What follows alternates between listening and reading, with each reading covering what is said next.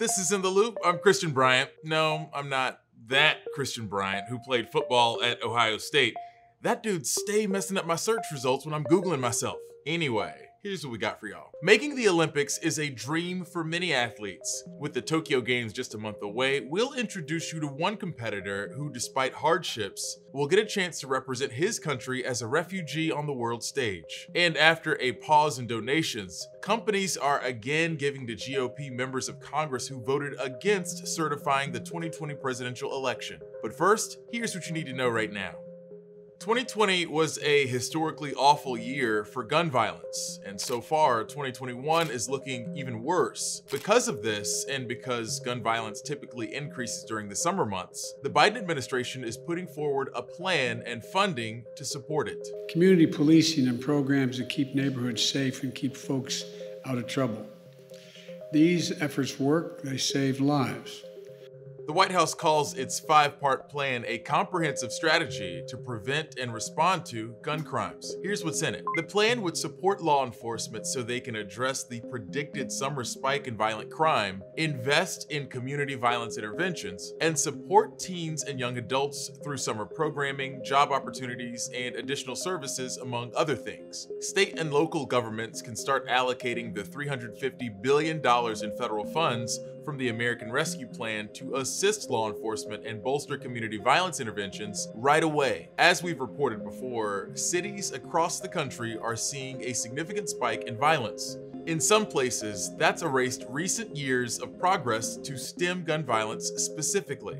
This announcement comes as the DOJ launches its own initiative to stop illegal gun trafficking the name is a little intense, but the DOJ will create five firearms trafficking strike forces to focus on major gun trafficking corridors.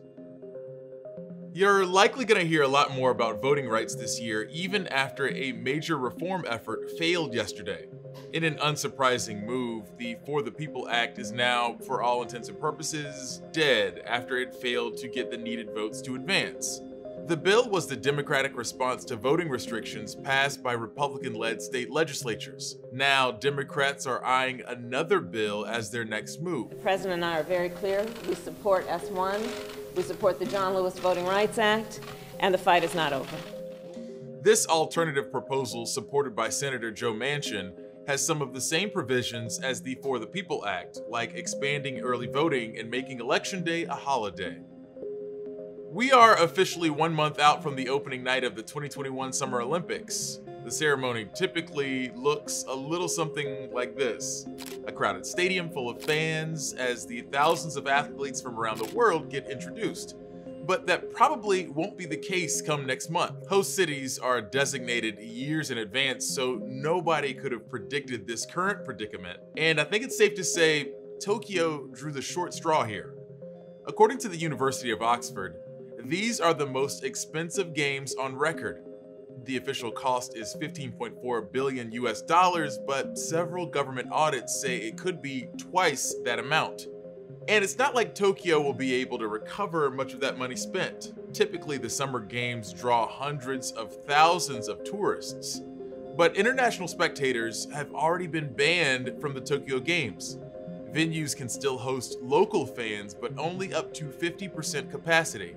They must wear masks, social distance, and here's the kicker refrain from cheering. The sale and consumption of alcohol has also been banned at Olympic venues and the Olympic Village, in part to prevent the spread of infections. So basically, if an athlete wants to celebrate a win with a drink, they are being asked to do so alone in their room. As one article put it, Tokyo is shaping up to be a no fun Olympics. Though to keep in mind, a lot of these rules were put in place because of Japan's public opposition to hosting the games amid a pandemic that's still very much a threat there. Right now, just 7% of Japan's population has been fully vaccinated against the virus. Now that we've covered some of the hurdles leading up to the games, we could use an inspirational story, right? I don't think the year long postponement of the games hit anyone as hard as the athletes who have dedicated their lives to training for an opportunity like this. Newsy's Ben Schamisso introduces us to one of those athletes who is a member of the Olympic refugee team. This fella tells us what it took for him to get a chance to play in the global spotlight. When Syrian badminton player Aram Mahmoud fled his home country six years ago, he left everything behind, including his family. It was a very difficult decision for my for, for my family, for my father and mother, and for me also. But he knew it was the only way to pursue his dream of playing badminton at the highest level. When I left Syria and went to the Netherlands, I found a safe place. After that, I start also playing the, the sport I love. His dream will come true this summer in Tokyo. Refugee Olympic team! Mahmoud is one of 29 refugee athletes selected to compete at the Olympic Games under the Olympic flag. The team includes a wrestler from Iraq, a cyclist from Afghanistan, and a runner from South Sudan. He got selected to play for the first time at the Olympics. I mean, it's huge opportunity for you. How do you feel about it? When they announced announced my name that I was in the team that I was going to Olympics was like one of my best moments in my life actually. The Olympic refugee team, which first competed five years ago in Rio, is meant to send a message of solidarity, resilience, and hope at a time when a record number of people are fleeing war and persecution around the globe. I'm very proud actually to be able to represent a million of people, to make them feel that they, they can also reach their goal if they believe in, their, in their self. Mahmoud fled Syria alone when he was a teenager amid a civil war. The conflict, which started 10 years ago, has left 500,000 people dead and 13 million displaced. When he arrived in the Netherlands in 2015, Mahmoud struggled to prove himself. When I was in Syria, I couldn't practice, so uh, my level was uh, like a bit down. Due to his refugee status, he was unable to compete internationally for the next three years. But since then, he's wasted no time climbing the world rankings. And now I am like number two or three in Netherlands, so uh, it's it's like quite quite big improvement. Though he's far from a favorite, Mahmoud is ready to make the most of his time in Tokyo. It's uh, very huge for me, for my family, for my father. They know that I like I deserve this kind of chances, and uh, I uh, like I will also do my best there. I'm not just going there to participate. Ben Schamisso, Newsy. Just remember, no matter how easy these Olympic athletes make it seem, they will absolutely mop the floor with most of us in their event.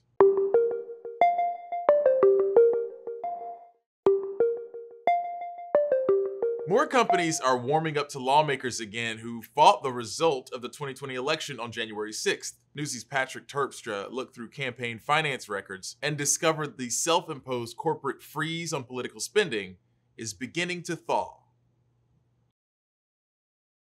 UPS is delivering more than packages to Capitol Hill. New campaign finance records show UPS giving to lawmakers who voted against certifying the election. The donations come after UPS paused political spending in the days following the January 6th insurrection. Many of those companies just pulled away. Washington's burning down. Let's let, let's not let, let's not give any more fuel to it at least initially. Rice University professor Douglas Schuler says companies froze campaign donations to avoid heat for funding people who promoted the baseless idea that President Biden didn't actually win the election. A lot of people started asking like who's behind those members of Congress. We reviewed recent filings of the Federal Election Commission and found 16 corporations sending money to Congress again, including to some of the 147 Republican election objectors. The list includes Ford, General Motors, Lockheed Martin, JetBlue. Like UPS, they're companies that announced at least a temporary stop in contributions to all lawmakers after the Capitol riot. Those few weeks after the event, I think a lot of companies just said, look, we don't want to be a part of it. We're above this. The donations come from employee sponsored political action committees, PACs for short. UPS reported giving to two Republican election dissenters in a flurry of new PAC donations that also went to Democrats. UPS never said why they stopped donating after the insurrection and did not respond to questions about why the PAC chose to support election opponents. Boeing took a time out to review political spending to ensure that we support those who not only support our company, but also uphold our country's most fundamental principles. Now, a new FEC filing shows Boeing's packed spending again to Democrats and Republicans, including four who challenged the election. We asked Boeing who would the company not support anymore after its review. Thanks for the question, a Boeing spokesman responded, but nothing additional to add beyond the statement that said, we will continue to carefully evaluate our giving. The corporation Cigna is a special case. The health insurer said it would no longer donate specifically to lawmakers who encouraged or supported violence or who, quote, otherwise hindered the peaceful transition of power. But FEC filings show two months later, Cigna donated to seven members of Congress who tried to prevent certifying the election. Please raise your right hand. When we asked Cigna about those donations, they referred us to a company statement that said, in their view, voting against the election was not an act of obstructing a peaceful transition of power. Congratulations, Mr. President. The FEC records show the company's still not giving to some of the most vocal election skeptics. Hawley with his fist, right? That was like a very like powerful symbol. There might be a little bit more attention on donations to those people. Duke Energy, one of the nation's largest electric companies, back to contributing to a number of home state representatives. But not to Madison Cawthorn, who the PAC previously backed. The congressman spoke to the crowd of Trump's supporters just before the Capitol attack. Our Constitution was violated! The FEC records show some companies are slowly returning to the long tradition of donating to both parties, focusing on congressional leaders and committee chairpersons, those most able to shape policies the corporations care about. It's a practice Duke Energy CEO defended at a recent shareholders meeting. We must be a part of the conversation so that we can bring our subject matter expertise, our experience, the needs of our customers to the table, and we'll continue to do that. Even as many other company PACs still aren't opening their wallets to those who fought the election result. Patrick Terpstra, Newsy, Washington. When you're back, we'll tell you how one Pacific Northwest community turned pandemic hardships into a way to help the homeless.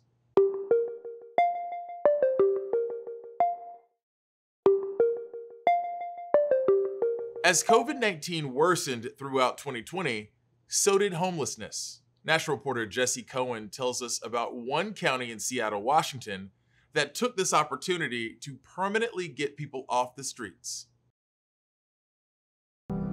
In many parts of the country, this is a familiar sight. Uh, we make all kinds of assumptions about people who are living in homelessness. Uh, and I think some of the worst are that this is a choice. Claudia Balducci, the chair of the King County Council in Seattle, says COVID 19 changed the city's response to homelessness. People realized pretty quickly that we couldn't continue to house folks in homelessness in these big congregate shelters where they were sleeping on mats on the floor or bunk beds in a big open room because it was just dangerous. There was too much risk of transmission of the virus. COVID also left some local hotels empty, so the county leased them, allowing them to offer homeless people a private room. So we knew we were on to something. Dow Constantine, the King County executive, says the evidence was right in front of them. The difference between having a safe place to sleep and then being pushed out on the street and having your own room with a lock on the door, however modest, was uh, dramatic.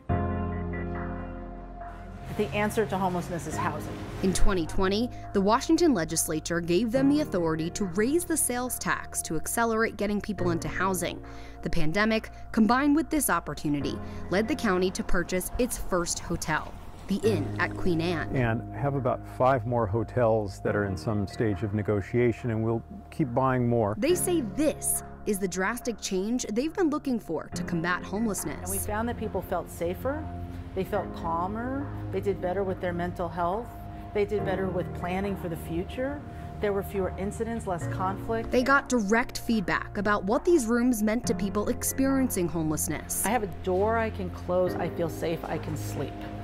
Uh, there's a place for me to store my belongings. I don't need to carry things around with me or worry about them being stolen all the time. And then they can focus on utilizing resources. Instead of being in crisis mode all the time, you can't plan for your future when you're constantly dealing with the crisis of the moment. According to the U.S. Department of Housing and Urban Development, on a single night in 2020, roughly 580,000 people experienced homelessness in the United States. I think that this is an opportunity for every community that's experiencing homelessness. King County wants to be a model for the rest of the country. They say spending money on the front end instead of the back end can create results. If you're a taxpayer, you're paying for that because people end up in hospitals, they end up in jails, very expensive services that all taxpayers contribute to on the far end of, of the emergency spectrum. Over time, you're going to save money because you'll have a lot less of that emergency intervention that is so expensive and frankly doesn't solve the problem. They expect to have about 1,600 people off of the streets and into permanent housing by the end of next year. A reality they feel will drastically change their community. We're going to show the public that this works, and by doing so, I believe we will build support to do more of it until we have finally turned the tide on this crisis. In Seattle, Washington, I'm Jesse Cohen reporting. If you haven't done so already, feel free to reach out to us on Twitter using the hashtag Newsy in the Loop. If you're feeling really lazy, send me a voice note, unless you are a bot. Don't nobody want to listen to binary code.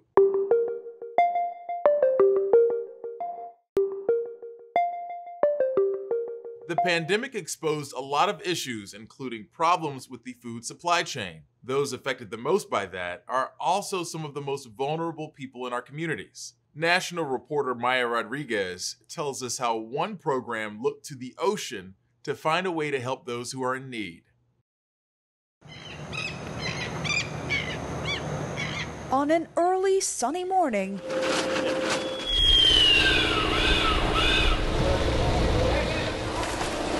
There a fresh catch comes ashore. We deal with crabs, oysters, shrimp, fish. A new shrimp season just opened along Mississippi's coast, and Jeremy Fort of Jerry Fort Seafood couldn't be busier. It's always keeping you guessing, you know, that's for sure. But that wasn't necessarily the case during the pandemic. When restaurants shut down, it created a chain reaction for fishermen around the country. We're highly dependent on the restaurant sales. And, uh, you know, certainly when you saw these massive shutdowns of the restaurants, it caused a lot of uncertainty, a lot of disruption to the supply chain. At the same time, just down the road from the harbor, soup kitchens and food pantries reeled from the economic strain of COVID. We're having a 30 to 50 percent request uh, increase in requests for food. Um, many people were first-time patrons of food pantries and soup kitchens. And that's when the harbor met the soup kitchen. Brought together by the nonprofit Catch Together, founder Paul Parker. What we realized is not just uh, the food insecurity crisis was deepening in terms of the number of people they needed to serve, but also many of the sources of their traditional proteins was was drying up because restaurants and uh, restaurants were closed, which is one source, and then also a lot of supermarkets were just sold out.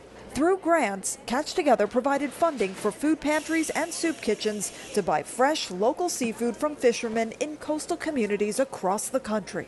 That kept fishermen working and people in need fed from Maine to Massachusetts to Florida to Mississippi to Alaska and beyond. They're now looking to expand the program, seeking additional funding from state agencies and the USDA. It really gave fishermen an opportunity to participate in solving a problem, working together to solve a problem that was really bigger than any one person. Extra Table got $30,000 to help get fresh seafood into local food banks and soup kitchens like this one. It's a beautiful uh, partnership across the nation, quite literally. If it weren't for Catch Together, we would have never been able to put two and two together. Back at the harbor, I'm willing to do whatever I can do to, to help the community out. the catch keeps coming in It's been a, a, a real big boost. It was really a win-win. on both land and the sea. In Pass Christian, Mississippi, I'm Maya Rodriguez.